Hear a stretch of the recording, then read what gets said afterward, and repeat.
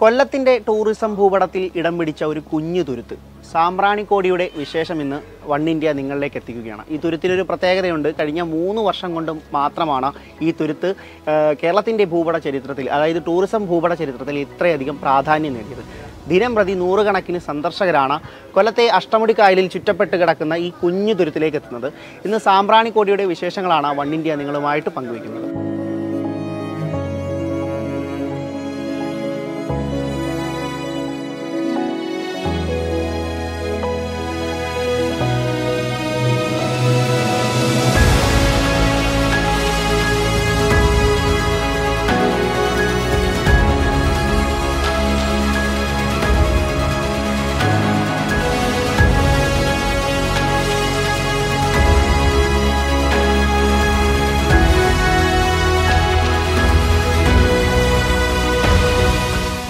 സാമ്പ്രാണിക്കോടി ടൂറിസത്തിന്റെ ഒരു തുടക്കം മുതലെയുള്ള ആളാണ്. അതെ അതെ അങ്ങനെയാണ് ഇതിലെ ഈ ഒരു ആശയത്തിലേക്ക് താങ്കൾ എത്തിയത്. പിന്നീടാണ് ടൂറിസം വകുപ്പ് ഇതിന് വലിയ ജനകീയത കിട്ടിയത് അതെ.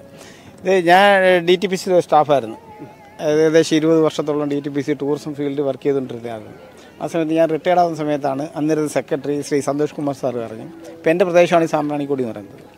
അപ്പോൾ അതിനു മുമ്പ് ഞാൻ ഈ ഹൗസ് ബോട്ടിലൊക്കെ പോകുമ്പോൾ ഈ കുമരകത്തൊക്കെ പോകുമ്പോഴേക്ക് ഈ കുമരകത്തൊക്കെ ഒന്നുമില്ല. നമ്മൾ നോക്കിയിട്ടൊന്നും കാണാനില്ല. പക്ഷേ ആദ്യത്തെ കുറേ ഫൈവ് സ്റ്റാർ ഹോട്ടലും മറ്റേതൊക്കെ ഉള്ളു. പിന്നെ അത് കഴിഞ്ഞ് പിന്നെ ഒന്നുമില്ല. സാധാരണ ഗ്രാമപ്രദേശമാണ് അന്നേ എന്റെ മനസ്സിനകത്തുണ്ടായിരുന്നു ഈ സാമ്പ്രാണിക്കോടി എന്ന് പറയുന്നത് എന്റെ ഗ്രാമപ്രദേശത്ത് ഒരു ടൂറിസം ഫീൽഡ് ഉണ്ടാക്കിയാൽ എങ്ങനെ ആവും അത് എത്രമാത്രം വിജയിക്കും എന്നുള്ളൊരു പ്രതീക്ഷ എന്റെ മനസ്സിനകത്ത് കിടപ്പുണ്ട്. അങ്ങനെ ഇരിക്കുന്ന സമയത്താണ് ടൂറിസം ഡിപ്പാർട്ട്മെന്റ് ആഭിമുഖ്യത്തിൽ ഡി ടി പി സി ഇവിടെ ഹോട്ടൽ തുടങ്ങുന്നത്. ഈ ഹോട്ടൽ തുടങ്ങിയെങ്കിലും വലിയ ആളുമൊന്നുമില്ല വളരെ നഷ്ടത്തിലോട്ട് പോകുന്ന ഒരു പ്രവണതയായിരുന്നു. അപ്പോൾ അതുകൊണ്ട് ഞാൻ D T P C retired ആവുന്ന സമയത്ത് തന്നെ സെക്രട്ടറിയുടെ ഒരു നിർദ്ദേശമാണ് മെലുവിനോടൊരു ബോട്ടിംഗ് ആരംഭിക്കണമെന്ന് പറഞ്ഞു. പക്ഷേ ഞാൻ ഈ ബോട്ടിംഗ് ആരംഭിക്കണമെന്ന് പറഞ്ഞാൽ ഇവിടെ ഒരു പാർക്കോ മറ്റു കാര്യങ്ങളോ യാതൊന്നുമില്ല. പിന്നെ എങ്ങനെ ആളുകൾ വരും. അപ്പം അങ്ങനത്തെ സമയത്താണ് ഇവിടെ നമുക്കിവിടെ ഈ വെള്ളത്തിൽ ഇറങ്ങി നിൽക്കാവുന്ന ഒരു പ്രദേശമാണെന്ന് കണ്ടതും. ഈ പിന്നെ ചെറിയ ചെറിയ കുറേ ഐലൻഡുകൾ അതിന്റെ അപ്പുറത്തൊക്കെ ഉണ്ട്. അപ്പോൾ ഇതെല്ലാം കൂടെ വെച്ചുകൊണ്ട് ഞാൻ ബഹുമാനപ്പെട്ട ജില്ലാ സെക്രട്ടറിക്ക് റിപ്പോർട്ട് കൊടുത്തു. അപ്പോൾ റിപ്പോർട്ട് കൊടുത്തതിന്റെ അടിസ്ഥാനത്തിൽ പുള്ളിയും ഡി ടി പി സിയുടെ എക്സിക്യൂട്ടീവ് കമ്മിറ്റി അംഗങ്ങൾ ഇവിടെ വന്ന് സന്ദർശിച്ചു. അവർക്കും സ്ഥലം ഇഷ്ടപ്പെട്ടു. നമുക്കിപ്പോൾ ഒരു പ്രത്യേകത ഒരു ഒരു ഇതുണ്ടായിരുന്നു. അത് കഴിഞ്ഞ് ജില്ലാ കളക്ടറായിരുന്നു അന്ന് ജില്ലാ കളക്ടർ കാർത്തികൻ സാറിന് ഇത് കൊടുത്തു. കാർത്തികൻ സാർ ഇവിടെ വന്ന് നോക്കി പുള്ളിക്ക് ഇഷ്ടപ്പെട്ടു. അങ്ങനെയാണ് ഇവിടെ ടൂറിസം തുടങ്ങുന്നത്. രണ്ടായിരത്തി പതിനെട്ട് നവംബറിലാണ് ഇവിടെ ടൂറിസം തുടങ്ങുന്നത്.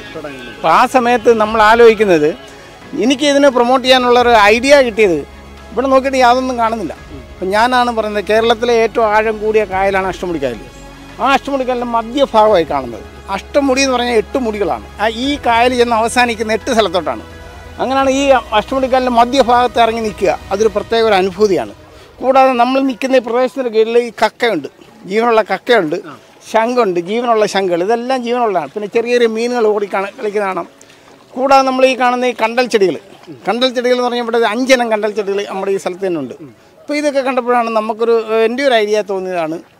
പക്ഷേ അങ്ങനെ ബോട്ടിംഗ് ആരംഭിച്ചെങ്കിൽ തന്നെയും വലുതായിട്ട് വലിയ ആളുകളൊന്നും വന്നില്ല. രണ്ടായിരത്തി പതിനെട്ട് നവംബറിലാണ് ഇത് സ്റ്റാർട്ട് ചെയ്യുന്നത്. പക്ഷേ രണ്ടായിരത്തി പത്തൊമ്പത് മാർച്ചോടുകൂടി നമുക്ക് ചെറിയ ചെറിയ ആൾക്കാരൊക്കെ വരാൻ തുടങ്ങിയതേ ഉള്ളൂ. ഏകദേശം രണ്ടായിരത്തി ഇരുപത് മാർച്ച് ആയപ്പോൾ വീണ്ടും കൊറോണ വന്ന് അടച്ചിടേണ്ടി വന്നു. അങ്ങനെ എട്ട് കഴിഞ്ഞ് പതിമൂന്ന് മാസം രണ്ട് ഘട്ടങ്ങളായിട്ട് അടച്ചിടേണ്ടി വന്നു. പക്ഷേ രണ്ടായിരത്തി ഇരുപത്തിരണ്ട് ജനുവരി മുതലാണ് ഇത്രയും ജനങ്ങൾ വരാൻ തുടങ്ങിയത്. നമുക്ക് പോലും പ്രതീക്ഷിക്കാത്തൊരു ജനമായിരുന്നു ഇവിടെ വരാൻ തുടങ്ങിയത്. അതെ പങ്കാളിത്തം മാത്രമല്ല ഒരു വയസ്സുള്ള കുട്ടികൾക്ക് പോലും ഇവിടെ ഇറങ്ങി നിന്ന് കളിക്കാം. കാണാമല്ലോ നമുക്ക് ഇത്രയും വെള്ളമേ ഉള്ളൂ. ഇവിടെ ഇറങ്ങി നിന്ന് കളിക്കാം അത് നല്ല മണ്ണാണ്. ഒരു വയസ്സുള്ള കുട്ടികൾക്ക് പോലും ഇറങ്ങി നിന്ന് കളിക്കാം അത്രയും സുരക്ഷിതമാണ് ഇതെല്ലാം കണ്ടുകൊണ്ടാണ് നമ്മൾ ഇത് വലിയ വലിയ കൂടുതൽ കൂടുതൽ ജനകീയമായിട്ടുള്ളത്. അത്രേ ഉള്ളൂ അത്രേ ഉള്ളൂ അത്രേ ഉള്ളൂ. മാക്സിമം എന്നാൽ മുട്ടിന് താഴെയുള്ള വെള്ളം. നമുക്കിവിടെ നാല് മണിക്ക് ടിക്കറ്റ് ക്ലോസ് ചെയ്യും. നാല് മണിക്ക് ടിക്കറ്റ് ക്ലോസ് ചെയ്ത് അഞ്ച് മണി വരെ നമുക്ക് ഇവിടെ നിൽക്കാൻ പറ്റും. അഞ്ച് മണി വരെ. ആ അഞ്ച് മണിയാകുമ്പോൾ നമുക്ക് ഇവിടുന്ന് എല്ലാവരും പോവെങ്കിൽ പറ്റത്തുള്ളൂ. അഞ്ച് മണി വരെ ഇവിടെ നിൽക്കാനുള്ള പ്രത്യേകം ഒരു എന്ന് പറഞ്ഞാൽ കൊല്ലം ബൈപ്പാസ് ഒക്കെ കൂടെ നിന്നാൽ ഇവിടെ കാണാം. ഇല്ല നമ്മളിപ്പോൾ ഇവിടെ നിന്നാൽ ഏകദേശം ഒരു മൂന്ന് പാലങ്ങൾ നമുക്ക് ഇവിടെ കാണാമെന്നുള്ളതാണ് ആ മൂന്ന് രണ്ട് പാലം. ഒന്ന് താണ്ട മൂന്നുണ്ട് ആ ഒന്ന് കൊല്ലം ബൈപ്പാസ് ഒന്ന് നമ്മുടെ ദളവാപുരം പാലം പിന്നൊന്ന് ഇവിടെ മുക്കാട് തുരുത്തിലേക്ക് ഒരു പാലം ഇപ്പം പണിഞ്ഞുകൊണ്ടിരിക്കുകയാണ് അതുകൊണ്ട് അങ്ങനെ മൂന്ന് പാലം നമുക്ക് കാണാം കാണാൻ പറ്റും. നമ്മൾ കുറച്ച് അങ്ങോട്ട് നല്ല രസമായിരിക്കും നല്ല വ്യൂ ആയിരിക്കും. നമുക്ക് കാണാം. ഈ കാണുന്ന ശംഖുകളുണ്ടല്ലോ. ആ. ഇതെല്ലാം ജീവനുള്ള ശങ്കളാണ് ജീവനുള്ള?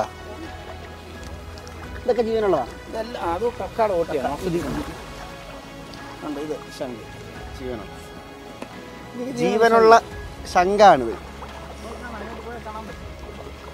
കണ്ട? ജീവനുള്ള ശങ്കാണ് ശംഖാണ്. അത് നമുക്ക് കാണാൻ പറ്റും. ഒരുപാട് പേര് ഇതൊക്കെ എടുക്കാനായിട്ടും ഈ ശംഖ് പറക്കാനായിട്ടൊക്കെ ഇവിടെ വരുന്നുണ്ട്. ഇന്ന് ഇനി വിട്ടേക്കാം വിട്ടേക്കാൻ നമുക്ക് ഇത് നല്ലൊരു എക്സ്പീരിയൻസ് ആണ്. അവിടുന്ന് വന്നതിന് ശേഷം നമുക്ക് ആദ്യമൊക്കെ ഒരു ദൂരെ നോക്കിയപ്പം വലുതായിട്ട് തോന്നിയില്ല. പക്ഷെ ഇവിടെ വന്നപ്പോൾ നമുക്ക് നല്ലൊരു നല്ലൊരു വൈബായിട്ട് തോന്നിയേ എന്തോ? ആ കായൽ നമുക്ക് ഇത്ര ആഴം കുറഞ്ഞൊരു ഭാഗം വളരെ കാരണം ഇത് വേമനാട് കായൽ എന്ന് പറഞ്ഞാൽ വലിയ ഇവിടുത്തെ ഏറ്റവും കൂടിയ ആഴം കൂടിയ ഒരു കായലാണ് അപ്പോൾ ഇതിന്റെ നടുഭാഗം എന്ന് പറയുമ്പം ആൾക്കാർക്ക് ഇറങ്ങി നടക്കാൻ പറ്റുന്ന ഒരു ഇതെന്ന് പറയുമ്പോൾ ഭയങ്കര ഒരു നല്ലൊരു എക്സ് അഷ്ടമുടി കായല. അത് തന്നെ കറക്ഷൻ അഷ്ടമുടി കായലാണ്. ഇവിടെ പണ്ട് മണ്ണെണ്ണ കപ്പലൊക്കെ അടുക്കുമായിരുന്നു എന്നാണ് പറയുന്നത്. നമ്മുടെ അപ്പാപ്പന്മാരൊക്കെ പറഞ്ഞ് നമ്മൾ കേട്ടിട്ടുള്ളതാണ്. ചമ്പ്രാണിക്കോടി പണ്ടേ നമുക്ക് അറിവുള്ള സ്ഥലം ഈ തുരുത്തൊരു നാലഞ്ച് വർഷം വർഷമൊക്കെ ആവത്തുള്ളൂ. തുരുത്ത് പ്രസിദ്ധമായിട്ട്. കുട്ടികൾ ഈ മണ്ണ് നിറഞ്ഞു കിടന്ന സമയത്ത് ഇവിടെയുള്ള മക്കളൊക്കെ പന്ത് കളിക്കുകയും ക്രിക്കറ്റ് കളിക്കുകയൊക്കെ ചെയ്തുകൊണ്ടിരുന്ന സ്ഥലമാണ്. ഇപ്പം പിന്നെ ചോദിച്ചറിഞ്ഞ് വരുന്നുണ്ട്. കച്ചവടം കുഴപ്പമില്ല. നമ്മുടെ അന്നു വേണ്ടുന്നുള്ള കാര്യങ്ങളെല്ലാം നടന്നു പോകുന്നുണ്ട്. ഈ കായലിൽ നിന്ന് തന്നെ പിടിക്കുന്നതാണ്. നമ്മൾ മത്സ്യത്തൊഴിലാളികളാണ് നമുക്ക് വേണ്ടുന്ന കാര്യങ്ങൾ ഇതിനകത്തുനിന്ന് തന്നെ കിട്ടുന്നുണ്ട്.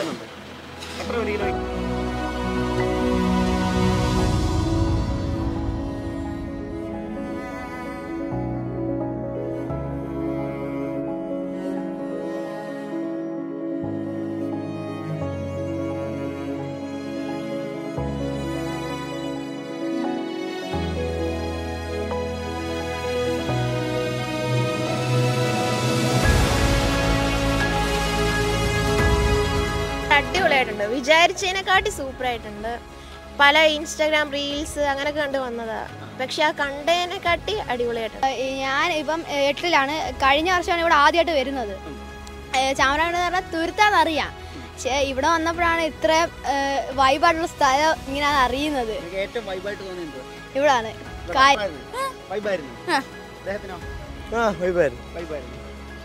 ഇഷ്ടപ്പെട്ടു. ഇവിടെ എന്ത് ഏറ്റവും ഇഷ്ടപ്പെട്ടെ? ഇവിടെ വെല്ലുത്തി ഷെൽസ് ഉണ്ട് പിന്നെ? എല്ലാം കൊണ്ട് നല്ലൊരു എക്സ്പീരിയൻസ് ആയിരുന്നു. ഇഷ്ടപ്പെട്ടു. ആ ഇഷ്ടപ്പെട്ട്. നല്ലതുപോലെ ഇഷ്ടപ്പെട്ട്. കുഞ്ഞുങ്ങൾക്കാണെങ്കിലും കളിക്കാനും എൻജോയ് ചെയ്യാൻ നല്ലതാ. വളരെ നല്ലൊരു എക്സ്പീരിയൻസ് കാരണം കൊല്ലം കണ്ടവൻ ഇല്ലം വേണ്ടെന്നാണ്. അപ്പോൾ എന്തുകൊണ്ടാണ് നമ്മൾ ഇല്ലം വേണ്ടെന്നൊക്കെ നമ്മൾ ഇങ്ങനെ കുട്ടിക്കാലത്ത് കേൾക്കുമ്പം ചിന്തിക്കാറുണ്ട്. പക്ഷേ നമ്മുടെ കൊല്ലം ജില്ലയിൽ ടൂറിസത്തിന് ഒരുപാട് സാധ്യതകളുള്ള ഒരു ജില്ലയാണ് കൊല്ലം. പ്രത്യേകിച്ച് നമ്മുടെ ഈ ടൗണിനോട് ചേർന്ന് കിടക്കുന്ന ഈ ഒരു സാമ്പ്രാണിക്കൊടി തുരുത്തെന്ന് പറയുന്നത് എനിക്ക് തോന്നുന്നത് നാളെ ഒരുപക്ഷെ ഇതൊരു വേൾഡ് ടൂറിസം മാപ്പിൽ ഇപ്പം വേൾഡ് ടൂറിസം മാപ്പിൽ കണ്ടിരിക്കേണ്ട ഒരു സംസ്ഥാനം കേരളമാണ് എന്ന് അടയാളപ്പെടുത്തിയിട്ടുണ്ട്. ആ കാലഘട്ടത്തിൽ നിന്നുകൊണ്ട് നോക്കുമ്പോൾ ഇന്ത്യയിൽ നമ്മൾ കേരളം എന്ന് പറയുമ്പോൾ കേരളത്തിൽ നമ്മൾ പറയുമ്പോൾ കൊല്ലം. അത് കണ്ടിരിക്കേണ്ട ഒരു സ്ഥലമാണ്. ഇത് വളരെ നല്ലൊരു എക്സ്പീരിയൻസ് ആണ് കേട്ടോ. ശരിക്കും പറഞ്ഞാൽ ഇത് നമ്മൾ വേണ്ടത്ര ഒരു പ്രചാരണം ഞാൻ നിങ്ങളെ അഭിനന്ദിക്കുന്നു. കാരണം നിങ്ങളെപ്പോലെയുള്ള വ്ളോഗേഴ്സാണ് ഇത് അല്ലെങ്കിൽ ഓൺലൈൻ മീഡിയാസ് ഇത് പുറത്തു കൊണ്ടുവരണം. കാരണം നമുക്കാകെയുള്ളൊരു ലൈഫാണ് അല്ലേ? നമ്മൾ ഒന്ന് നമ്മളൊന്ന് റിലാക്സ് ചെയ്യാൻ നമ്മുടെ ഔദ്യോഗിക തിരക്കുകളും നമ്മുടെ ജീവിത തിരക്കുകളിൽ നിന്നൊക്കെ ഒന്ന് റിലാക്സ് ചെയ്യാൻ പറ്റിയ ഈ ഈ വെള്ളത്തിന്റെ നടുവിൽ നമുക്കിങ്ങനെ ഈ കണ്ടൽക്കാടുകളോട് കുറേ നേരം ഇങ്ങനെ സല്ലപിക്കുക സന്തോഷിക്കുക എന്നൊക്കെ പറയുന്നത് നമുക്കൊരു പോസിറ്റീവ് എനർജിയാണ് അപ്പോൾ തീർച്ചയായിട്ടും ഇനി കാണാത്തവരിത് വരണം കാണണം ആസ്വദിക്കണം അനുഭവിച്ചറിയണം എന്നുള്ളതാണ് എനിക്ക് പറയാനുള്ളത്. തീർച്ചയായിട്ടും നാളെ ഇത് വലിയൊരു ടൂറിസമായിട്ട് നമ്മുടെ ഈ കൊച്ചു കേരളത്തിലെ ഈ നമ്മുടെ കൊല്ലം കൊല്ലത്തിലെ സാമ്പ്രാണിക്കൊടി മാറും എന്നാണ് ഞാൻ പ്രതീക്ഷിക്കുന്നത്. ഡി ടി പി സിയുടെ നിയന്ത്രണത്തിലാണ് സാമ്പ്രാണിക്കോടിയിലെ ഈ ബോട്ടിംഗ് ആണെങ്കിലും ഇവിടുത്തെ ഭക്ഷണശാലയാണെങ്കിലും ഒക്കെ പ്രവർത്തിക്കുന്നത്. സ്വാഭാവികമായിട്ടും ഡി ടി പി സിയുടെ അണ്ടറിൽ തന്നെയുള്ള ഇവിടുത്തെ ഹോട്ടലാണ്. ഇവിടെ സമുദ്രസദ്യയാണ് ഇവിടെ വരുന്ന സന്ദർശക സന്ദർശകർക്ക് ഏറ്റവും പ്രത്യേകമായിട്ട് ഒരുക്കിയിരിക്കുന്നത്. പിന്നെ കുറിച്ച് ഡീറ്റെയിൽ ആയിട്ട് ഇവിടുത്തെ ഉദ്യോഗസ്ഥർ തന്നെ സംസാരിക്കും. ചേട്ടാ നമസ്കാരം. പ്രത്യേകത. എന്തെല്ലാം കൂട്ടങ്ങളാണ് കരക്കൂട്ടങ്ങളാണ് ഒരുക്കിയിരിക്കുന്നത് ഡീറ്റെയിൽ ആയിട്ട്? അവിയലുണ്ട് തോരനുണ്ട് കണവ തോരനുണ്ട് പിന്നെ ചൂരക്കറിയുണ്ട് പായസം കപ്പ സാമ്പാർ മത്തിപ്പീര കണവ അല്ല കക്ക അവിയൽ പിന്നെ അതിന്റെ കൂട്ടത്തിൽ ചോറ് നമ്മുടെ ആ ഇതെല്ലാം ഇത്രയും സാധനം ഇൻക്ലൂഡ് ആയിട്ടാണ് നമുക്ക് വരുന്നത്. പന്ത്രണ്ട് കൂട്ടം കറികളുണ്ട്. മീൻ വറുത്തൊക്കെ സെപ്പറേറ്റ് ആണ്. സെപ്പറേറ്റ് റേറ്റ് ആണ് വരുന്നത്. സെപ്പറേറ്റ് ആണ് നമുക്ക് ഇത്രയും ഇത്രയും പന്ത്രണ്ട് കൂട്ടം കറി വരുന്നതിന് ഇരുന്നൂറ്റമ്പത് രൂപയാണ് വരുന്നത്. ഇരുന്നൂറ്റമ്പത് സദ്യ വരുന്നത്. മീനൊക്കെ സെപ്പറേറ്റ് ആണ്. അത് ആൾക്കാരുടെ ഇഷ്ടം വെച്ച് നമുക്ക് ഓർഡർ പറയുമ്പോൾ നമ്മൾ ചെയ്തോളൂ. എത്തുന്നുണ്ട്.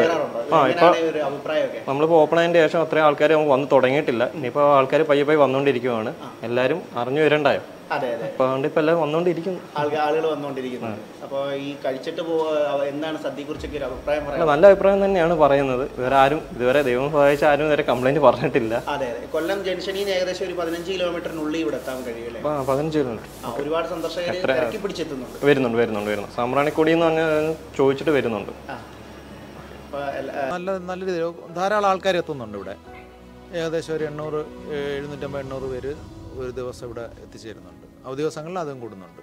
ടിക്കറ്റ് ക്രമീകരിച്ച് നമ്മൾ ഒരു ഒരു മണിക്കൂറിൽ അങ്ങോട്ട് പോയിട്ട് ഒരു മണിക്കൂർ ഒരു പത്ത് മിനിറ്റ് യാത്രയേ ഉള്ളൂ. അവിടെ ചെന്ന് ഒരു മണിക്കൂർ സ്റ്റേ ചെയ്തിട്ട് ഐലൻഡൊക്കെ ചുറ്റി കണ്ട് തിരിച്ച് നമുക്ക് എപ്പോഴും ബോട്ടുകളുണ്ട്. പതിനെട്ട് ബോട്ടുകളോട് ഇവിടെ അംഗീകൃത ബോട്ടുകൾ സർവീസ് ചെയ്യുന്നുണ്ട്. അതിൽ എപ്പോൾ വേണമെങ്കിലും കയറി വരാം. ഒരാൾക്ക് അപ്പ് ആൻഡ് ഡൗൺ പോയി വരുന്നതിന് നൂറ്റി അൻപത് രൂപയാണ് ചാർജ് ചെയ്യുന്നത്. അങ്ങനെ രീതി. ഒരു ദിവസം ദിനംപ്രതി എത്ര ആളുകൾ ഒരു ദിവസം അവധി ദിവസങ്ങളിലൊക്കെ ആയിരത്തിൽ അധികം ആളുകൾ എത്തിച്ചേരുന്നുണ്ട്. അവധി അല്ലാത്ത ദിവസങ്ങളിൽ ഒരു അഞ്ഞൂറ് ഇരുന്നൂറ്റമ്പത് ആ കണക്കിൽ മുന്നൂറ് ആൾക്കാർ വരുന്നുണ്ട്. D T P D T C തനിയെ ബോട്ട് ഓപ്പറേറ്റ് ചെയ്തിരുന്നു. പിന്നെ പ്രാദേശിക ബോട്ടുകളുടെ ചേർന്നിട്ട് പതിനെട്ട് ബോട്ടുകളോളം ഇപ്പം അംഗീകൃത ബോട്ടുകൾ എടുത്ത് അതാണ് സർവീസ് കണ്ടിരിക്കുന്നത്. അപ്പോൾ അവരെയും കൂടെ ചേർത്തുകൊണ്ടാണ് മുന്നോട്ട് പോകുന്നത്. പ്രൈവറ്റ് ബോട്ടുകൾ ഇവിടെ ഇങ്ങനൊരു ടൂറിസം സാധ്യത ഇവിടെ പ്രാദേശികമായിട്ടാണ് നാട്ടുകാരാണ് ആദ്യം തുടങ്ങിയത്. ഡി ടി പി സി ആണ് ആദ്യം ഇവിടെ സർവീസ് ചെയ്യുന്നത്. ഒരു ചെറിയ തുരുത്തായിരുന്നു. അതിനകത്ത് കുറച്ച് കണ്ടൽ കാടുകളൊക്കെ ഉണ്ടായിരുന്നു. അവിടെ പിന്നെ ജില്ലാ പഞ്ചായത്ത് കുറേ തൈകൾ കണ്ടൽ ചെടികൾ വെച്ചായിരുന്നു. അത് വളർന്ന് വലുതായി. പിന്നെ അതൊരു ടൂറിസം സ്പോട്ടായി മാറി. അതിന് വേണ്ട മറ്റു സാധ്യതകളൊക്കെ ഡി ടി പി സി ആണ് ചെയ്തത്. സുരക്ഷാ ക്രമീകരണങ്ങൾ സുരക്ഷാ സുരക്ഷാ ക്രമീകരണങ്ങൾ നാല് ലൈഫ് ഗാർഡ് വിത്ത് സെക്യൂരിറ്റിയാണ് നിൽക്കുന്നത്. ഒരു ഏകദേശം ഒരു പത്ത് ഇരുപത് സെന്റ് സ്ഥലത്തോളം നികന്ന മാത്രമുണ്ട്. അപ്പോൾ അവിടെ നടക്കാം. മുട്ടിന് താഴെ വെള്ളമുള്ളു. പിന്നെ മണ്ണ് മൺപ്രദേശമാണ് മണ്ണും കല്ലുമാണ്. അതുകൊണ്ട് ചെളി താന്നുമെന്ന് പേടിക്കണ്ട. കുട്ടികൾക്കായാലും വന്നാൽ മുട്ടിന് താഴെ വെള്ളമുള്ളൂ. ഏതൊക്കെ ദിവസം ഇവിടെ കൂടുതൽ ഇവിടെ പൊതു അവധി ദിവസങ്ങളിലും ശനി ഞായറുമാണ് തിരക്ക്.